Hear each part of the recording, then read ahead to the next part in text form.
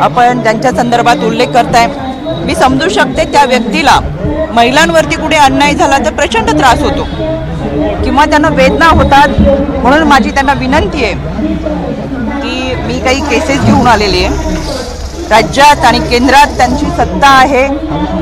यामध्ये भाजपचे रायगडचे जिल्हाध्यक्ष महेश मोहिते यांच्यावरची लैंगिक अत्याचाराची फसवणुकीची हिंसाचाराची केस आहे.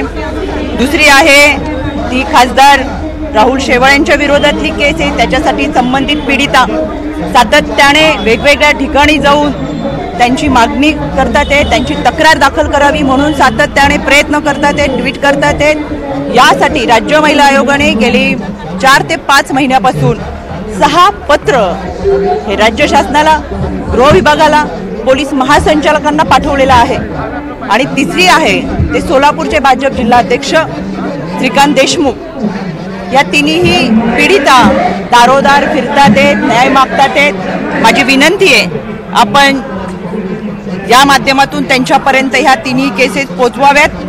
आणि मला खात्री आहे ताई निश्चितपणाने यासाठी त्यांच्या गृहमंत्र्यांकडे केंद्रीय गृहमंत्र्यांकडे मागणी करतील आणि तिन्ही पीडितांना न्याय देतील. आयोग त्यांच्यासाठी सुद्धा प्रयत्न करतोय. आयोग काय करत असेल तर या सगळ्यांना न्याय मिळावं. यासाठी सुद्धा आयोग प्रयत्न करतोय. एबीपी माझा. उघडा डोळे बघा नीट.